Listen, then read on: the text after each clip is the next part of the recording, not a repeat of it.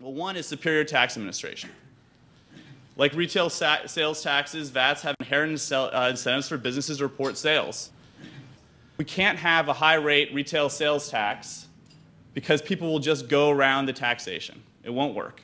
Anytime you go to above 10% and you don't have incentives for businesses to stay in the formal economy and for consumers to stay in the formal economy, you start getting leakage. And what does that mean? That means you have to raise the rate even higher to go ahead and, and raise the same amount of revenue, and that means that people keep evading more and more, and it's this downward cycle. It just doesn't work. You need to have incentives for businesses to stay in the formal economy. The second problem is business-to-business transactions. If I'm a bar owner and I go ahead and I purchase a TV in my bar, I shouldn't pay taxes on that TV. That's an investment. But in the United States, that bar owner does. And this happens all the time. Theoretically, it shouldn't happen, but it does. And up to 40% of the sales taxes raised in this country are raised on business-to-business transactions. And what does this do? This raises the price of investment for businesses. And this is problematic. That doesn't do that because businesses can always go ahead and easily get a rebate for any type of good they've purchased. The whole VAT burden should and is passed on to the consumer. And there is evidence that switching to a VAT can raise business investment because it reduces this problem of business-to-business -business transactions. So Canada, which adopted a VAT about 25 years ago, had this nice natural experiment. Canada has provinces, the United States has states, but they're similar. And so in Canada, what happened is that uh, the provinces had the option of harmonizing under the national value-added tax. They could also keep their retail sales taxes if they wanted to. Provinces were given the option.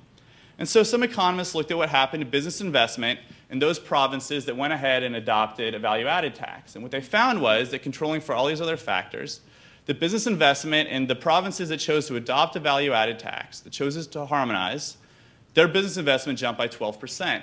Why? Because investment was less costly, because you're not paying these business-to-business -business fees. So there is empirical evidence that, that uh, introducing a VAT can lower the cost of business investment and that there can be jumps uh, and gains in, in regional economies. Um, secondly, VATs tend to be less costly to administer than income taxes, although uh, adding a VAT onto the income tax code, in addition, this isn't replacing it, uh, we might be able to lower uh, income tax rates, could increase overall tax administration in the United States. Um, but compared to an income tax, a VAT is superior. Secondly, improved economic efficiency. So what do we mean when economists talk about efficiency? They're usually talking about distortions. They're usually talking about uh, taxes that change the way we behave, that change what way we choose to spend our time or what we choose to, to purchase. Uh, an income tax is distortionary in the sense that it not only induces us to uh, perhaps work less because we're being charged on, on uh, our labor and also our investments, but it also decreases incentives for saving. Economists love VATs because it doesn't tax saving. If I choose to go ahead and save a portion of my salary, invest that in the economy, and then consume in retirement, a VAT doesn't penalize me for doing that because it's a consumption tax. But an income tax, which charges uh, a tax on much of my return throughout these years when I'm saving. We do have capital gains taxes and taxes on uh, dividends that disincent saving because taxes are charged along the way. Um, VAT does not distort business investment or business organizational form, while corporate tax does.